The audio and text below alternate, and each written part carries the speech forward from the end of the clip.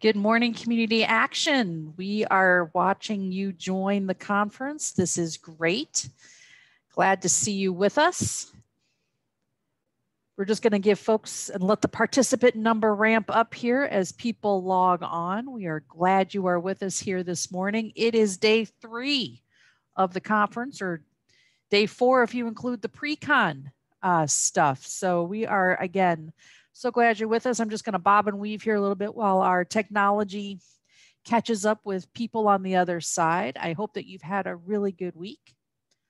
I hope that you've gone to the platform and downloaded your swag bag. Um, if you haven't gotten your physical swag bag in the mail, um, let Jovita and Madison know because uh, we will get those shipped out to you or let you know that yours was already shipped to you.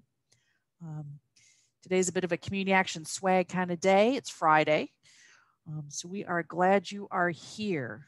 Good. I see people putting the good mornings. Snowy Maine. We got Texas. We have Augusta, Georgia. Ooh, snowy Green Bay for a little competition with snowy Maine. Southern Maine, Arizona. So it's warm, hopefully in Arizona, though I know not all Arizona is always warm. Thank you, Lisa, for the good vibes. Appreciate you. All right, Elbow Lake, Minnesota, minus two. Burr burr, burr, burr. So it is cold. Kansas, Northern California, Southern Illinois, and the Sunshine State. Whew. All right. We are glad you're here. I hope that you've had a good week. I know this morning we have um, our opening plenary session, which we're really excited by. We then have a set of workshops, a range of topics. I hope that you will enjoy those workshops and I hope you come back. For just the closing remarks, it'll be the raffle. We'll announce our winners. I know many of you have been filling up the your bag with all the little huggy hearts in terms of the scavenger hunt, and we have some fabulous prizes to give away. So I hope that you will come back uh, for the closing session. Keep in mind, although if you don't, I just want to put a pin in your calendar for our Equity Summit on April 20 and 21. That will also be virtual. And certainly our conference at the end of August, what is it, August 30 through September 3. Um, we hope to be in Boston.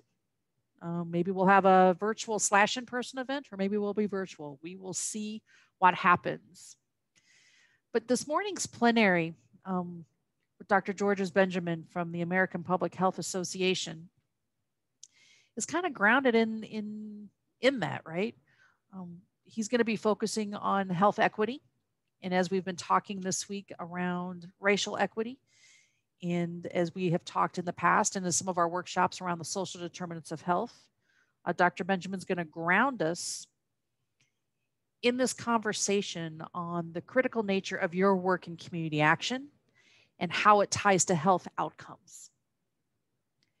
And we know that in this moment where we are pivoting toward vaccination rollout, we know some CAPS are actually doing uh, vaccinations, as you have public health clinics, FQHCs, family planning clinics, and other healthcare settings. Others of you are providing transportation for folks to get access to the vaccine. Some of you may be opening your sites as you did for COVID testing to allow folks to come in. There's a lot of work to be done to build trust, to build confidence, to dispel myths, and as community action agencies across this country, you are the trusted messengers. So this morning, I am so pleased to welcome Dr. Georges Benjamin, President and CEO of the American Public Health Association. When we reached out to Dr. Benjamin and said, Will you join us for this conversation? He was right out of the gate. Yes, I will. We've worked with APHA, APHA, excuse me, on a couple of grant applications around health equity, engaging the CBO voice in those efforts. And we look forward to some really great future uh, partnerships uh, with Dr. Benjamin and his team. So thank you so much for being with us, Dr. Benjamin. I know you've been at the association for 19, coming up on 20 years. Um, this is probably a moment in time that you have not run across. This is a new adventure in many ways, new, new, new challenges. Um, but please know that we in Community Action stand with you and we look forward to partnering with you and we look forward to your conversation with us here today. Good morning. Denise, good morning, and thank you all for allowing me to be here with me uh, today. I'm going to now share my screen and um, and just a little talk a little bit about it. I'm going to talk about the social determinants. Uh, then I'm going to pivot to racism. Um, and then I'm going to talk about how it plays out in, uh, in COVID as, as, an example um, of the challenges that we have in our nation. So let's just point out the fact that I like this um, uh, definition of health. It's a holistic definition. This is the holistic definition from the World Health Organization that points out that health is um, more than just physical and mental um, health, it's also social well-being. It's also not just merely the absence of disease um, or any kind of disability. Um, it's, it's a very, very holistic approach uh, to being there. Um, you know, as a doc, I would be um, negligent if I just don't point out that health is very, very important and doctors matter. That uh, um, I'm an internist, although I practiced emergency medicine the first half of my career. And, but in our system, even though primary care is very important and healthcare is very important, um, we spend a lot of time thinking more about this healthcare system than we do about really um, the health and well-being in a more holistic way, uh, as the WHO definition shows us. Um, so with that in mind, let me just tell you, remind you that place matters. And your zip code, in many cases, is more important than your genetic code. Your zip code, where you live, um, determines access to schools and jobs and food and you know exposure to toxins, healthcare, whether or not you can get a, a, a bus um, close to your to where you live to get to where you need to go to. Um, and community is very, very important um, as we think about health in a variety of ways. That environment in which we live is very important to good health. Just to give you a sense of what I mean by that, this is West Virginia. And to give you a sense of how important place is, um, this particular um, jurisdiction is 97% white so if you see, I'm comparing Mason County to Putnam County. Um, and these two uh, counties are, um, are, both in the same state. Um, they're 97% white, but the US News and World Report does a ranking and they rank these two communities about 20 points apart in terms of health and well-being. And it wasn't because, um, you know, Putnam County was more healthy than Mason County. It wasn't because um, they made more fundamentally more unhealthy choices. Um, but the other county had better schools, stronger economy, and at least initially when the survey was done, spent more on public safety. And the point that even within a community of all whites, you see this kind of disparity um, that we talk about. Of course, we also have an example here. This is Delmar Boulevard in St. Louis. Um, and every community in America has a Delmar Boulevard.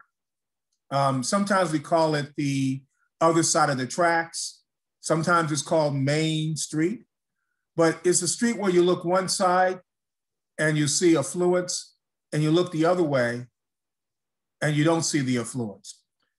Quite frequently, these um, communities are segregated by race and ethnicity. Uh, and as you can see, at least in this um, community, huge, enormous differences in home value simply because they're on one side of the street or the other. Differences in the economic prosperity in terms of what these folks made, education, and as you can also see, differences in race and ethnicity. And we have designed these communities for many reasons due to long-standing federal, state, and local housing policy to, um, to create these kinds of um, inequities we see in our community.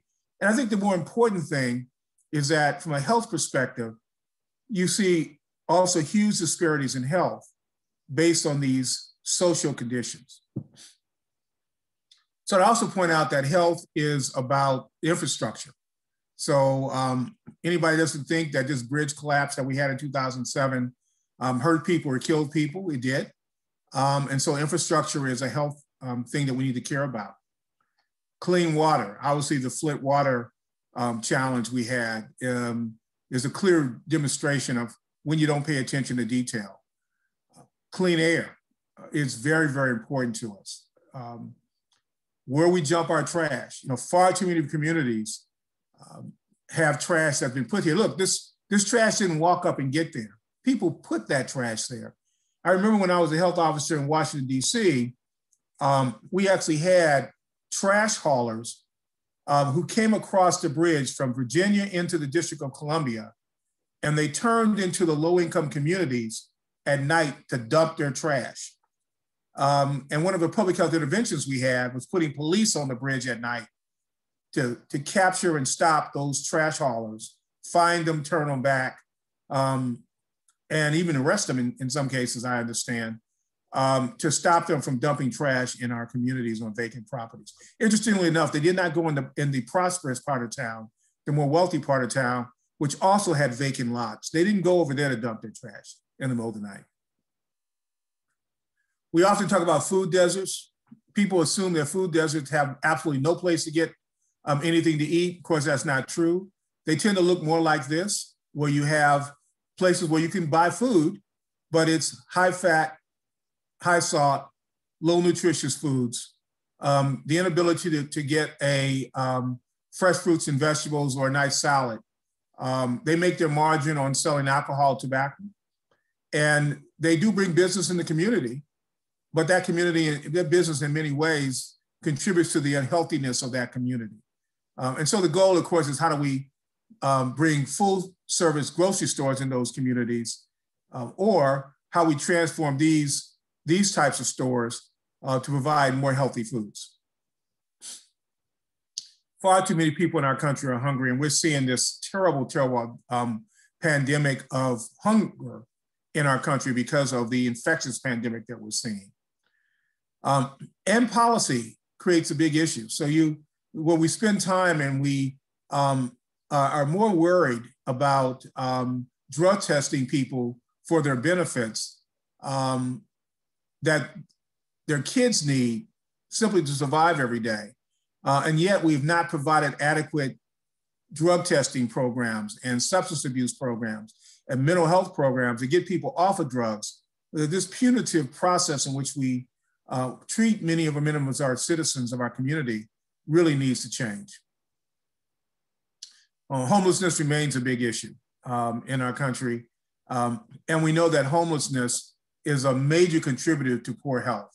Uh, and the real problem we have is that people who are homeless are much more likely to die prematurely.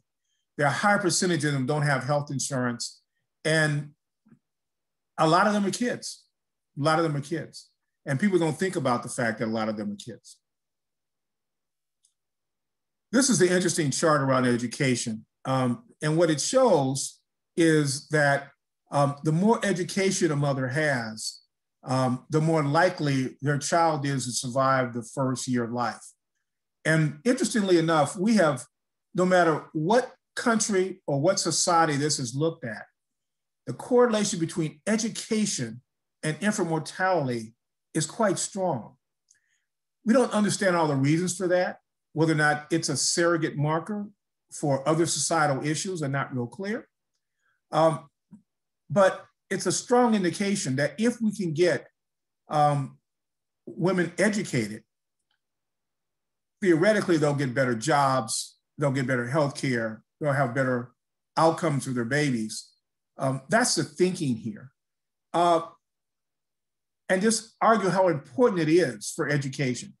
And overall, we know that education is extremely important um, for all genders and all races um, as part of our nation we've got to stop this um, school to prison pipeline.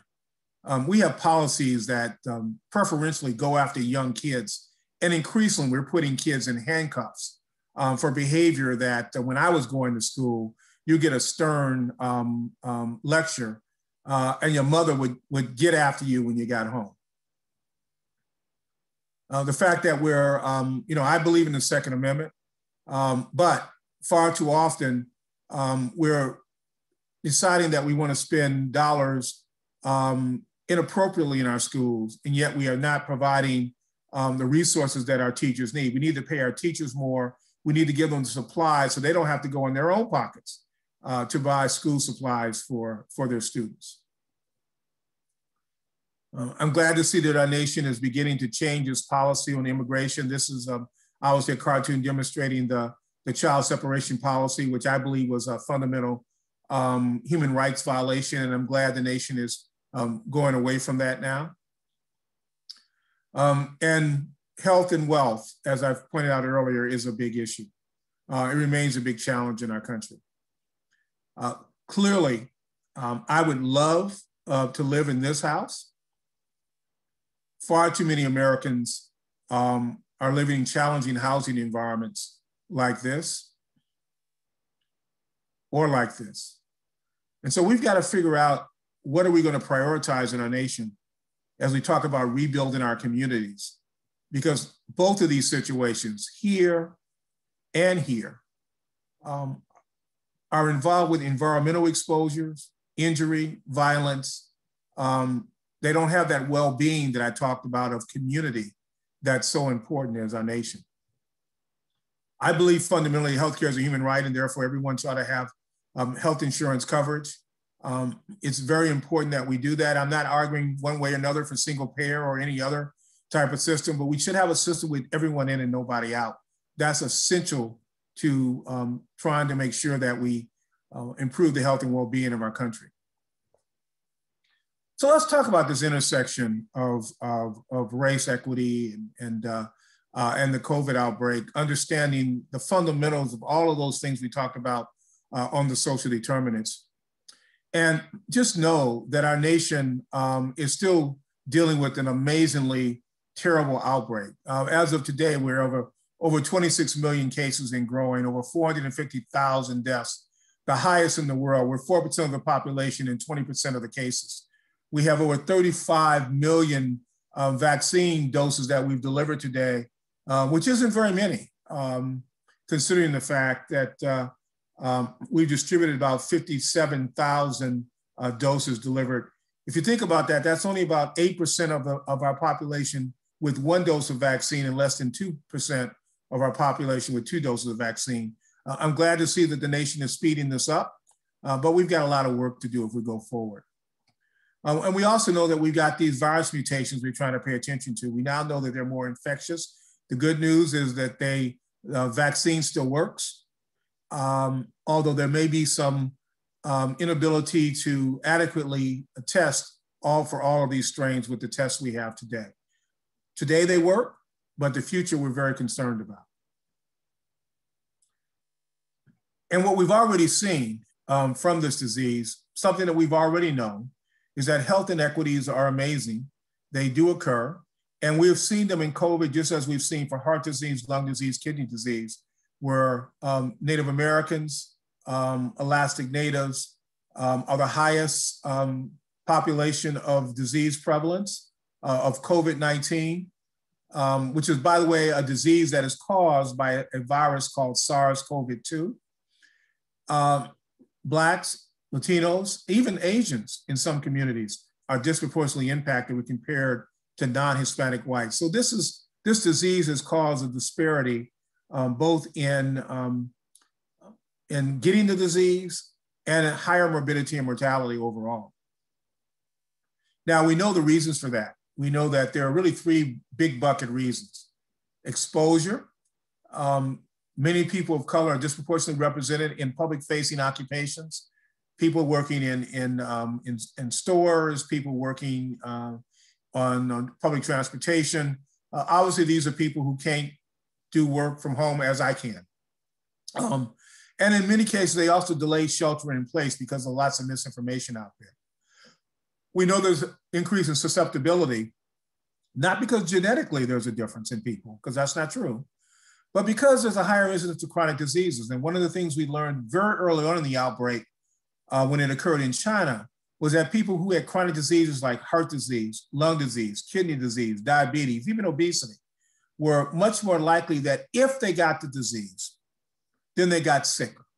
So if you were out working, you're much likely to more get exposed and if you have one of these chronic diseases, once you got infected, you're much more likely to get very sick from the disease. And then a range of those things we call the social determinants. You know, if you don't have paid sick leave and you can't take off from work to go get tested or take off from work to go get checked out if you're not feeling well, you're much more likely to go to work. If you're infected with COVID, you're much more likely to infect others. Uh, and we saw that, of course, in meatpacking plants, where people would go to work, partially because they were given misinformation, I mean, partially because they, they simply didn't, um, weren't encouraged not to come to work. We know that poverty and housing situations play a big issue. Clearly, if you live in that big house that I talked about, it's easier for you to quarantine if you get sick uh, or, or if you get exposed and isolate yourself if you get sick, if you're in that big house. If you're in one of those smaller homes that I showed you, then it's much more difficult to do so um, because you may only have one bedroom, may only have um, two bedrooms, you may only have one restroom. Your ability to, to stay separate for the 12, 14 days we keep talking about um, is highly limited. And we're seeing these kinds of exposures in families where one person gets sick, uh, and then of course the whole family gets infected. And then of course racism um, and structural issues play a big role. So let's talk about how it's in many ways it, has played out um, in both intentional and unintentional ways. Um, let me remind us that race is a social construct based on physical characteristics. It has no really genetic basis. That racism is a false belief in the superiority of one group of people over another based on race. That racism unfairly disadvantages some individuals and communities. It unfairly advantages other individuals and communities and it saps the strength of the whole society by wasting human resources and I just need to publicly thank my good colleague, Camara Jones, Dr. Camara Jones, um, who has taught me uh, about racism uh, and the importance of me paying a lot of attention to trying to address it um, from my position.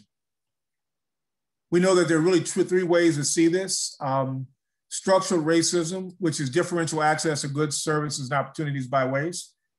Um, personally mediated racism, which is the kind we always talk about. This is prejudice and discrimination based on assumptions and capabilities about one's motives and intent. And then internalized racism. Um, and this is acceptance by any group of people of the, who've been stigmatized. They actually believe the negative messages about one's own abilities and intrinsic worth. You know, that's when you, you can't be a doctor, you can't be a nurse. You know, um, I know many of my colleagues were told you can never be a doctor, you should never go to medical school and they were told to go into the trades. Now, the trades are wonderful occupations, but you know, if you want to be a doctor, um, you know, someone should track you to be a doctor and not be a plumber. There are a lot of things that you can use plumbing skills for in medicine. Um, and I, I jokingly say that because I just know so many physicians that were where they were discouraged early on, who had great grades, but because of their color and because people have told them they couldn't um, achieve, um, they had to think about it. The good news is many of them do, but the bad news is so many people are told these messages and don't achieve their full potential because of that. So let's talk a little bit about how this may have played out a little bit um, here in, uh, in, in COVID. Uh, let's talk about initially testing. You know, one of the interesting things was when we put the, the testing locations up, everybody thought those drive-through testing sites were, were wonderful. I did too. Uh, but they were not usually placed in the hood.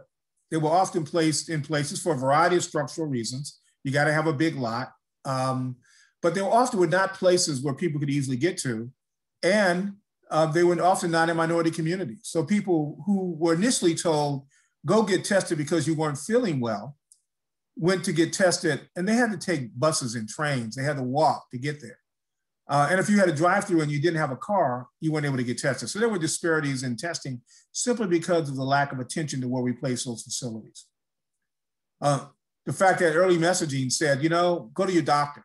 And if you don't have a relationship with the doctor, you don't have health insurance coverage, you don't have a primary care physician, you're less likely to be able to go to a doctor.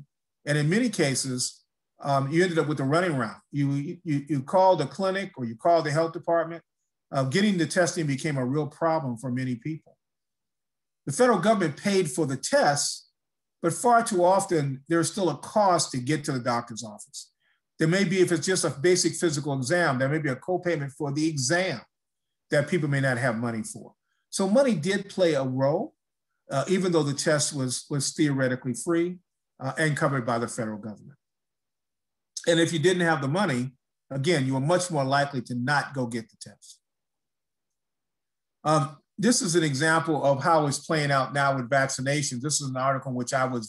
I was uh, I was interviewed about vaccinations, and we're beginning to see vaccination levels in disparity. We didn't learn our lesson last spring around testing, so we're repeating it around vaccinations. Uh, and here's a situation where the hospital staff uh, were notified, uh, the doctors and nurses, but the environmental services staff and janitorial staff apparently were not because they weren't linked into the hospital email system.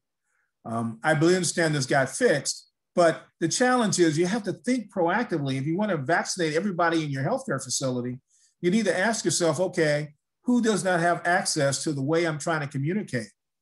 When, when am I structuring to make sure that in my honest attempt to get everybody vaccinated, what am I missing?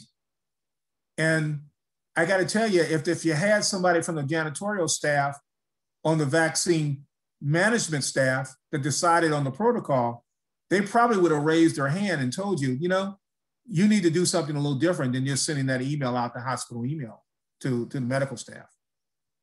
Um, obviously, we need to put these in the community. We're now beginning to see these vaccination sites going into the community, um, particularly for people to get transportation with 24-7 availability. Um, the federal government just announced that in Los Angeles, they're going to put some centers in the hood and we'll see how those work out. But hopefully that will help begin trying to address some of these, these inequities that we, that we project will happen. Um, the whole issue of personally mediated racism, masking while black is a, is a you know, we, we've got driving while black and walking while black and working while black. We also have masking while black. And the challenge we have, we've seen examples where African-American men um, were felt to be threatening when they went into stores and were escorted out when they didn't do that with white patrons. Uh, these are real challenges that we have to we have to think about um, in terms of how people are profiled and treated, uh, and we've continued to see that um, in a variety of settings. Um, the way that plays out um, um, in, from an internalized perspective with testing um, is the fact that if people don't know why they're being tested, you know, there was lots of rumors and stigma that if I got COVID, um, I'd be part of the quote unquote black disease because people were misinterpreting the higher prevalence of getting sick if you got COVID with being African American or Hispanic. Fascinating that people made those misconnections uh, as part of their thinking. And people then said, look, I don't want to get COVID because I don't want to be part of that disease process. And of course, if you if you have COVID, you can't go to work. If you know you have it, you don't go to work because we tell you you shouldn't go to work. And of course, if you don't go to work and you work in, in, a, in an environment in which if you don't go to work, you don't get paid, you don't get paid, you don't eat, you're, you're, you're less likely um, to be as clear uh, about your disease process. You may not even go in and get tested. Then the fundamental lack in the, in the system as we know it. Um, just the issue around vaccine acceptance plays a big role. Um, we're now trying to address that misinformation. Interestingly enough, the first vac person vaccinated in our country was an African American nurse. Um, you know, we, are very, she was very proud of being the first person to get vaccinated. Uh, and we use her as an exemplar, and many other leaders have stepped up to be vaccinated to try to address this issue. But we also need to have more targeted education and trusted messengers in their language uh, and, and doing in people in their language, particularly for people who English is not their first language. And by the way, this is where you come in because you, in the work that you do, you are absolutely trusted messengers.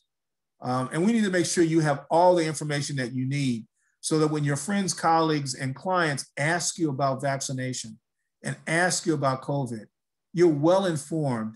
And so you can help us deal with a whole range of issues around disinformation and misinformation that's going in our community. And I can tell you there's a lot of it. You know, there are flyers flying around that says, if you get COVID, you should get on a bus. You should go in the community, right? That's just the opposite. You don't want to infect any, uh, anyone else.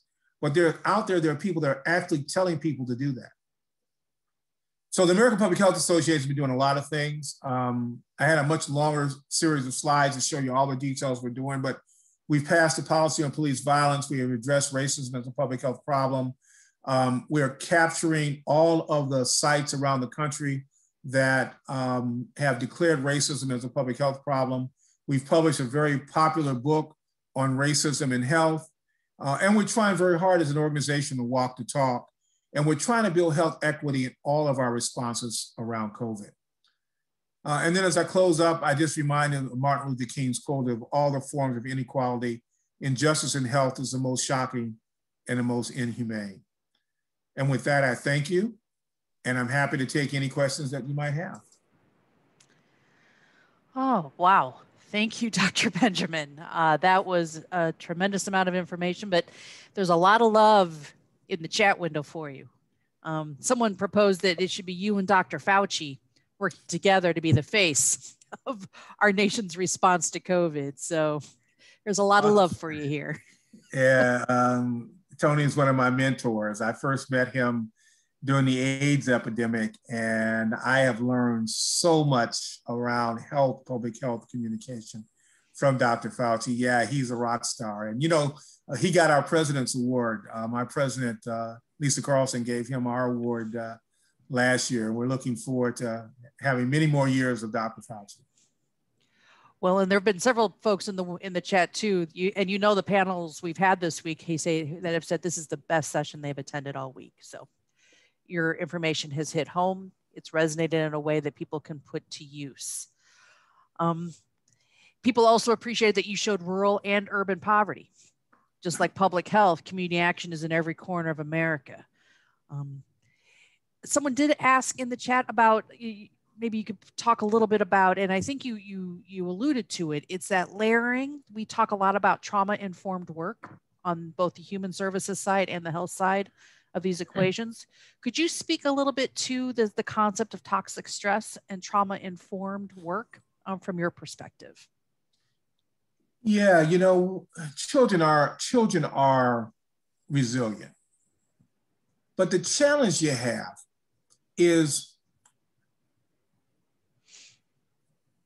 if, if you if you're if you're in an environment, first of all, the brain is a phenomenal tool. And we've learned, organ is probably the better way to put it. We've learned that it, it imprints experiences um, in a variety of ways. We don't, we're not smart enough. We haven't figured it all out yet. But being felt wanted,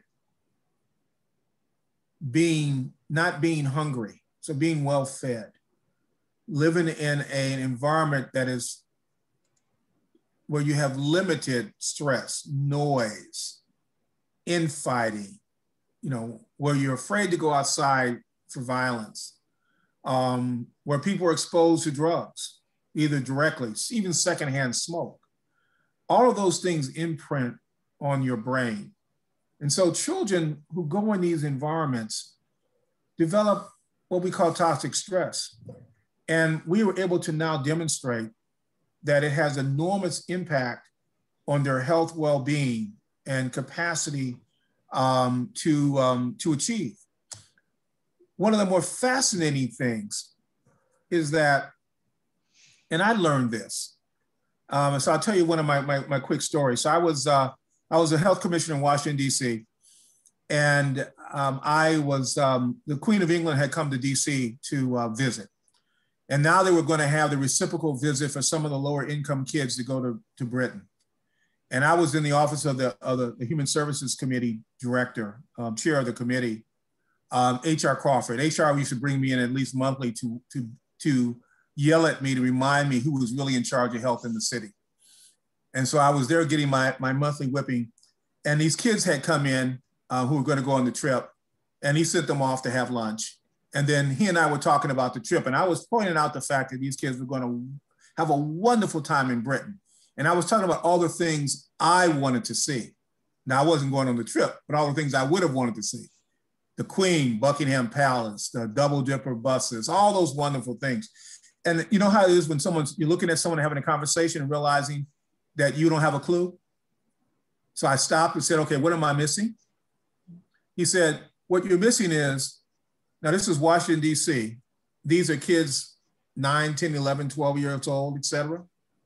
They happen to be downtown in the district building, which was at that time downtown DC. Um, he said these kids were not excited about going to London. They were excited about going to the airport because these kids in Ward 7 and 8 in DC, the poorest wards in town, had never been to a national airport in a city 10 square miles. So their life experiences was limited to seeing these planes coming over the horizon. If you've ever been over that side of town, the planes come over the horizon and they've never seen where those planes are coming from. You know, you can get to National Airport if you go on the metro, but the metro doesn't go to their ward. So, my life experience was thinking about how limited these kids' life experiences. Now, once they got to London, I know they had a wonderful time because I talked to when they got back. But they, and it wasn't just, they didn't know, they didn't want to get on the airplane. They wanted to get to the airport. That was the limit of their thinking and the limit of their world. So I know one of the things we have to do is we have to expand these kids' understanding of their world. And then, then they'll soar. Great, thank you for for that. Um, and folks are echoing that in the chat as well, saying that that that is something that they have seen as well um, with families that they certainly work with. Some co comments in the chat also about vaccination information. and community action, just like public health, right? We're everywhere. And both our employees are representative of America, bringing along oftentimes the same sort of um, understanding or misunderstanding of, of maybe some of the facts around vaccinations. Can you talk a little bit about, uh, maybe it's two pronged. A, how can community action agencies work closely with public health in their local communities to, to expand their role of trusted messenger and be engaged? But also, how do we work with um, both employees as well as folks that we're serving who, for justifiable reasons, have some very significant doubt about the vaccination process? Well, obviously you have to do this in the context of your jobs and but let, let, let's let's start with the science what we know about the vaccine um, the development of this vaccine has been a, a scientific marvel but even though we talk about the fact that we have um, done these vaccines in record time not a single step was cut in the science or the research of these vaccines. That's the important thing, first thing. Secondly, to know, even though we talk about, yeah, yeah, we did this in a year, and yes, it is true that the fastest vaccine we've ever bought from conception to reality is four years. The truth is, we've been working on a vaccine like this since 2009, since the first SARS outbreak. And we knew a lot of things. We learned a lot of things about vaccinations for SARS CoV 2 um, from what we learned from SARS CoV 1. First of all, the spike protein, I call it the spiky thing on the crown of the virus. All everyone's seen the picture of the virus. The spike, we learned that that piece of the virus structure is what made your body react. That's often the piece of research that takes years to figure out. And it did take years to figure out. But we did that years ago. And then we've had a, we've had um, MERS, which is the Middle Eastern Respiratory Syndrome, which is another COVID um, SARS virus. And by the way, the SARS virus in that family of viruses is the family of viruses that cause the common cold, or at least one of the cold viruses. So we've been trying to make a cold virus um, vaccine for as long as I've you know, pretty much almost as long as I've been around in medicine. So it's not like we, you know, this was conceived a year ago. It was conceived many, many, many years ago. In fact, we actually had several functional prototypes. So we were able to just simply go based on everything we learned. And the use of the mRNA, they've been experimenting with mRNA vaccines um, and, and ideas for 20 years because we want to use them for cancer as anti-cancer tools. So the point is, this is your tax dollars that work through the National Institute of Health, an amazing amount of science, all coming together, and the whole world focusing on a single problem. That's why we were able to do it so fast. Now, it's also important to know that this um, vaccine is infected, is effective to reduce the disease, but less effective in reducing infectivity. At least we don't know yet because we haven't done the studies. So we've done the studies to show that it, it can, um, it's effective in reducing people from getting sick and dying. But they're just now doing the studies to prove that it also reduces transmission of the, of the disease, okay? And we will focus like a laser on sick and dying because sick and dying gets you back to work. Getting the sniffles or no symptoms at all tells you just stay home for a few days, okay? So the, the vaccine is safe and effective um, in, the, in that context. And we, um, um, I encourage everyone to get the vaccine. Um, and as soon as I'm in line and I have the ability to get it, I'm going to do that. I, I'm, I'm absolutely essential. Um, I, am not an essential worker. Um, I'm a worker who can work from home. But there are people that are, you know, teachers and the people driving our buses. I absolutely want them to get their vaccination. Uh, and if you have chronic diseases, I absolutely want you to get your vaccination. So I, I encourage everyone to do it. Well, someone just wrote in the chat that in your comments today have had at least one outcome. Thank you for the explanation. You have relieved my anxiety about the vaccine. That makes sense to me. This is very much appreciated. Good. I'm with you. As soon as I can get, I'm able to work from home. As soon as I can get the vaccine, that is something that I'm going to be anxious to get. I and I too agree with you. I hope everyone in this network gets to a level of comfort and willingness to take the vaccine. I think that is where and how our country moves forward. And whatever we can do to encourage our customers and clients as well, I think is going to be critical. Let me let me add one more thing to that, Denise, if I mm-hmm. could. Yeah. The risk of the disease is higher than the risk, any risk of the vaccination. I think that's the way to, to think about this. This is a sick. bad disease.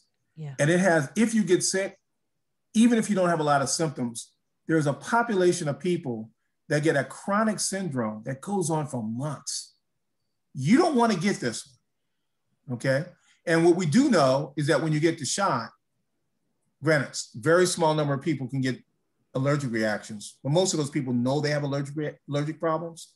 We have to deal with them separately, but it's a very small number, no different than any other vaccine. But the worst thing that most people get, that aside, sore shoulder, fever, headache, feeling really like crap for a couple days.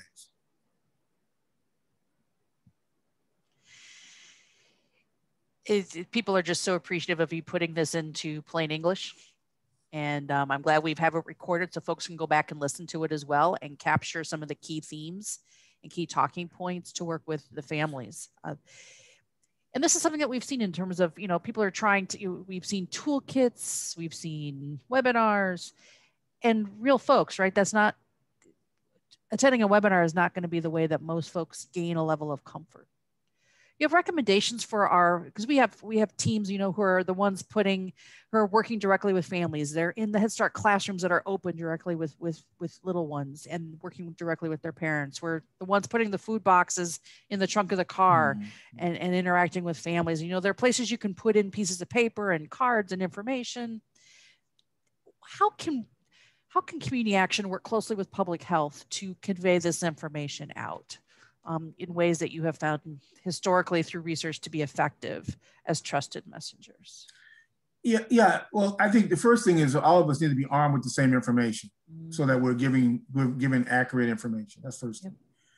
Second thing I think is um, in the context of your organizations, uh, reaching out to the state and local health departments and offering to partner with them. Um, you know, the um, I was on a phone call with Cure Violence the other day. Some of you may know Cure Violence. They they do a lot of violence prevention in communities. And because they're in the hood and they know the people in the community and they're still out working and about, they've pivoted to COVID 19 and they're doing exactly what you're talking about. They're educating communities. They're, you know, um, they're sharing inf- the right information because you know how you know how it works. You're providing someone a service. You're in their home. You're they're coming to you for to, to get some food, and because you're you're trusted by them, they will ask you that that question that they may not ask anybody else. What do you think of the vaccine? You don't need to give them a long scientific explanation, but you do need to be able to, to uh, be comfortable giving them the right answer so that you at least, and if you don't feel comfortable giving them the answer, that's okay. But figuring out where you can send them. Um, so for example, a couple quick things. Number one, they may ask you if masks work. The most effective thing we have right now, short of vaccinations, wearing a mask, washing your hands, keeping your distance. That trio of public health interventions is extremely important because it's a layered series of protections that reduce your risk. Nothing gives you 100%. The only thing that gives you 100% is going into one of those bubble suits, staying in your own room, and not eating for you know a year until we, until we solve this problem. Right? None of us are going to do that. So what the goal is to reduce our risk. You want to reduce your risk? Wear, wear an appropriate mask, wash your hands, keep your distance, become informed, and when you're eligible, get vaccinated. Um, that was that will get us back to, quicker. But in terms of the partnership, you know, having your agencies reach directly to your state and local health department and say, "Hey, we're here. We're here to help. Here's the value we bring to the table," uh, and you bring an enormous value, and there'll be more people reaching out to you because we know we need to have people to go into the hood that can do this. Um, when I was a health officer in DC, we actually hired, we worked with community action partners um, we worked with um, community health workers. I had some that worked for me for maternal child health, HIV AIDS, our nutrition programs, and they could find Johnny when nobody else could. They could go into communities at, you know, nine o'clock in the afternoon that I could not go into, okay? Because they were trusted in those communities. People didn't lock their doors when they saw them coming. You know, they would answer the door if people went and banged on the door and said, hey, I got some information. If they handed them a flyer, they would read it. So that's the value, the enormous value you bring to this enterprise.